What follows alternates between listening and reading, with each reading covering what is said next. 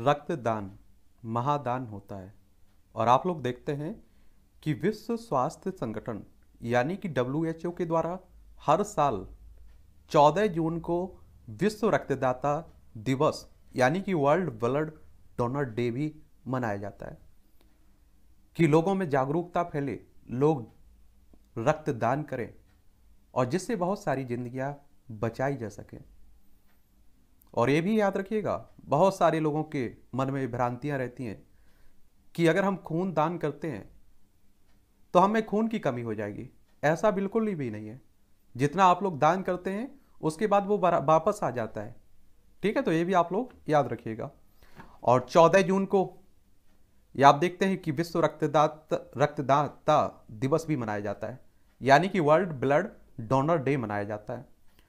अभी मैं इसलिए बात कर रहा हूँ क्योंकि आप देखेंगे कुछ समुदाय ऐसे हैं जिन्हें रक्तदान करने से रोका जाता है। और इसमें खासकर आप लोगों ने देखा होगा, क्या देखा होगा? कि L G B T Q का नाम आप लोगों ने सुना होगा। इसमें आप देखिए जो समलैंगिक, गे, उभयलिंगी, ट्रांसजेंडर, क्वीर हैं, जो आप देखते हैं सेक्स वर्कर होते हैं। उन्हें भी रक्तदान करने से रोकने की बात कही गई है। और काफ़ी हद तक विज्ञान भी ये कहता है। तो उस मामले को पूरा समझ लेंगे। इस मुद्दा क्या बना हुआ है, इस पर भी हम लोग बात कर लेंगे। भारत में क्या स्थिति है, ये भी हम लोग देख लेंगे। अगर आप लोग किसी गवर्नमेंट एग्ज़ाम की तैयारी कर रहे हैं, तब आपसे इस तरह के क्वेश्चंस पूछे जा सकते हैं। क्या किए जा सकते हैं? पूछे जा सकते हैं। और अगर समाज के किसी वर्ग को इससे अछूता रख, रखा जाए, रक्तदान से, और अछूता इसलिए रखा जाए कि आप फला वर्ग के हैं और इसलिए आप रक्तदान नहीं कर सकते हैं। क्या नहीं कर सकते हैं? रक्तदान नहीं कर सकते हैं। इतना ही नहीं, अगर इस बात पर विज्ञान भी कुछ हद तक मुहर लगाए तो मन में सवाल उठाना लाजमी हो जाता है। और इस मामले को लेकर केंद्र सरकार ने अभी हाल ही में सुप्रीम कोर्ट में अपना जवाब दिया है। और सुप्रीम कोर्ट की बात करते हैं तो हमारी सर्वोच्च अदालत है। संविधान के अनुच्छेद 124 को आप लोग पढ़िए। सुप्रीम कोर्ट की स्थापना की बात की गई है। और 28 जनवरी 1950 में इसकी स्थापना हुई थी। और इसमें जो न्यायाधीश रहे थे, उनकी सेवानिवृत्ति की उम्र पैंसठ साल रखी गई है। दरअसल भारत में ट्रांसजेंडर, समलैंगिक लोगों और महिला यौन कर्मियों द्वारा रक्तदान पर प्रतिबंध है। इस पर थंग जाम, संथा सिंह, बनाम भारत संघ और अन्य मामले के माध्यम से सुप्रीम कोर्ट में एक याचिका दायर की गई है।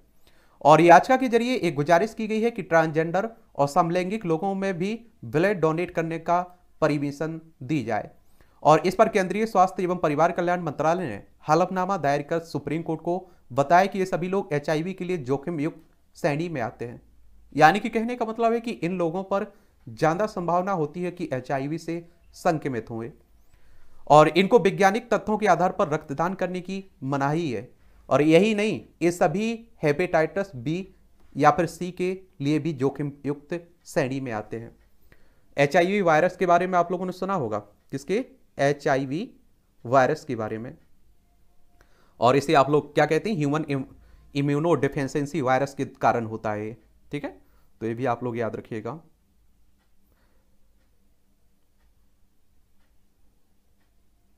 इससे आप लोगों को क्योंकि और आप देखते हैं कि क्या रहता है इसमें? एचआईवी एक तरह का वायरस है जो हमारे इम्यून सिस्टम पर अटैक करता है, उसे कमज़ोर करता है। और यह वायरस इम्यून सिस्टम पर इस समय तक अटैक करता है, उस समय तक, जब तक कि व्यक्ति की मौत नहीं हो जाती है। तो ये भी आप लोग याद रखिएगा। और जब कोई एचआईवी से संक्रमित होता है तो उसका शरीर संक्रमणों और बीमारियों से नहीं लड़ पाता है। यानी कि आप देखिए, प्रतिरोधक क्षमता उसकी घटने लगती है। तो ये भी परेशानी बनी हुई है। और इसलिए आप देखेंगे, इन्हें मनाही की गई है कि आप ब्लड दान, यानी कि रक्तदान नहीं कर सकते हैं। रक्तदान से जुड़े नियम की बात करें तो हमारे यहाँ ब्लड डोनेशन के लिए कुछ दिशा निर्देश तय किए गए हैं। और ये दिशा निर्देश national blood transfusion council of और नेशनल एड्स कंट्रोल ऑर्गेनाइजेशन की ओर से 11 अक्टूबर 2017 को जारी किया गया था। और इसका शीर्षक है guideline for blood donation donor selection and blood donor referral 2017 के नाम से। इस गाइडलाइन की क्लॉज 12 और इक्यावन में ट्रांसजेंडर समलैंगिक लोगों और महिला यौन कर्मियों द्वारा रक्तदान पर प्रतिबंध लगाया गया है। ये भी आप लोग याद रखिएगा। खून कौन नहीं दे सकता है? तो रक्तदान के लिए लोगों का वयस्क और स्वस्थ होना ज़रूरी है। अब ऐसा नहीं कि कोई बीमार व्यक्ति जाए और रक्तदान करने की बात कहे। अरे भाई, पहले आप ही स्वस्थ हो जाइए, फिर करिए आप। वयस्क यानी कि आप देखिए, बच्चे नहीं दे सकते हैं। थोड़ी अच्छी उम्र होनी चाहिए उनकी। वहीं उम्रदराज बीमार लोग और प्रेग्नेंट या लिक, लिक्टेटिंग महिलाएँ खून नहीं दे सकती हैं।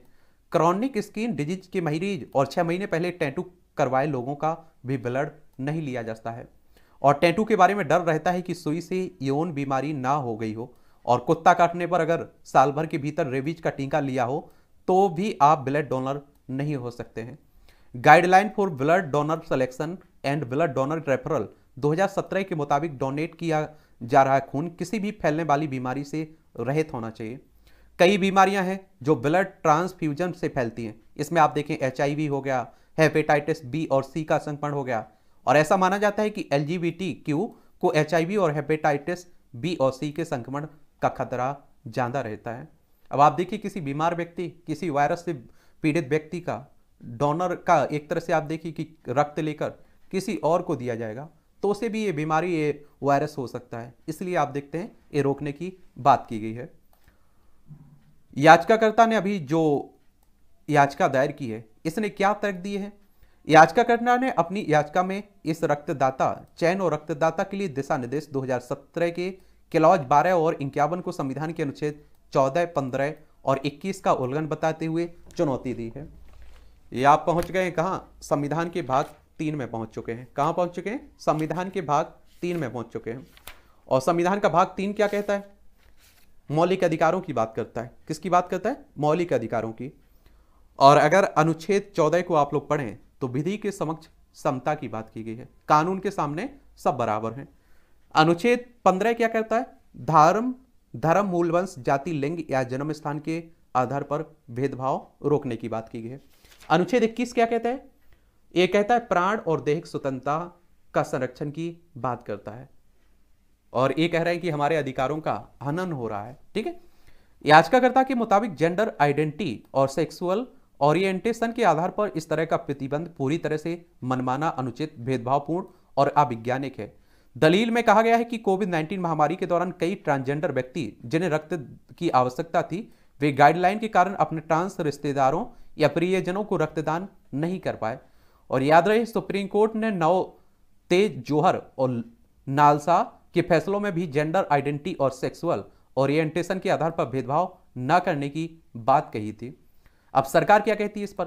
सरकार कहती है कि याचिका पर जब सुप्रीम कोर्ट ने केंद्र सरकार से उसका तर्क पूछा तो सरकार ने बताया कि ट्रांसजेंडर सेक्स वर्कर हाशिए पर बने रहते हैं और कलंक और ट्रांसमिशन रिस्क की वजह से समय पर उनका उपचार नहीं हो पाता है और ऐसे में इन इन जनसंख्या समूह में संक्रमण का खतरा और बढ़ जाता है।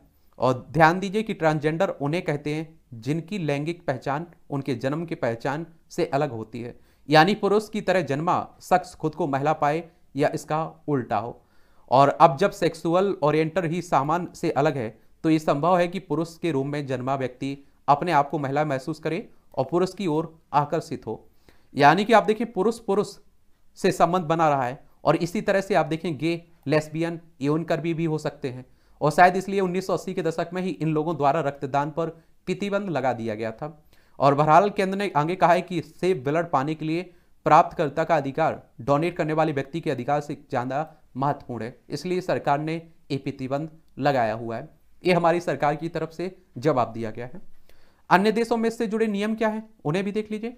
अमेरिका में साल 2015 तक ट्रांस और गे लोगों के रक्तदान पर प्रतिबंध था। दिसंबर 2015 में इसमें थोड़ा बदलाव किया गया और इन्हें इस शर्त के साथ रक्तदान की परमिशन दी गई कि उन्होंने पिछले 12 महीनों के दौरान यौन संबंध ना बनाए हों। और कोरोना वायरस के बढ़ते मामलों और खून की कमी को देखते हुए साल 2020 में इस नियम में एक बार फिर बदलाव हुआ। अब की बार एक साल के पीरियड को घटाकर तीन महीने कर दिया गया था और यूनाइटेड किंगडम में भी ब्लड डोनेशन का नियम कुछ इसी तरह का देखने को मिलता है। स्विट्जरलैंड में एक साल तक यौन संबंध ना हो, तभी समलैंगिक और ट्रांस रक्तदान कर सकते हैं। कनाडा में कुछ नियम ज़्यादा सख्त है और वे मानते हैं कि हाई रिस्क सेक्सुअल बिहेवियर वाली श्रेणी में यौन बीमारियों का खतरा भी ज़्यादा होता है, इसलिए इसकी स्क्रीनिंग ज़रूरी है। ऑस्ट्रेलिया में ग्रेट ट्रांस लगातार ब्लड डोनेशन में भेदभाव की शिकायत करते रहे, यानी यहाँ भी तीन महीने वाला नियम लागू है। अभी आप देखिए, जाँच इतनी हमारे पास सख्त नहीं है कि क्या कर सकें, कि बहुत जल्दी आप देखिए जाँच कर सकें कि उनके, उनमें कोई वायरस तो नहीं है, कोई बीमारी नहीं तो नहीं है। और उनका खून सेफ़ है या नहीं? अगर इस तरह का कुछ टेक्नोलॉजी होती, कोई तकनीक होती तो आसानी से उन्हें भी अधिकार दे सकते थे। या फिर अमेरिका, या कनाडा, या ऑस्ट्रेलिया, इनका हम लोग उदाहरण ले सकते हैं, या ऐसा हम लोग भी लागू कर सकते हैं। अब देखिए क्या करता है, सुप्रीम कोर्ट क्या करता है, सरकार क्या कहती है। और इस पूरे मामले में एक तरफ़ याचिकाकर्ता का भी तर्क सही लग रहा है, वहीं दूसरी तरफ़ आप देखें, लोगों को सुरक्षित रक्त प्राप्त करने का अधिकार भी है। यानी जन स्वास्थ्य के साथ खिलवाड़ नहीं किया जा सकता है। ऐसे में अब यह अदालत पर निर्भर करता है कि वो क्या फैसला सुनाती है। तो इसके बारे में एक सामान्य जानकारी ज़रूर रखिएगा। इस तरह के टॉपिक से कई बार आप देखते हैं प्रिलिम्स हो, मुख्य परीक्षा हो इंटरव्यू हो, कहीं भी किसी तरह का क्वेश्चन पूछ लेता है आपसे, ठीक है? और आपकी राय भी पूछ लेता है कई बार।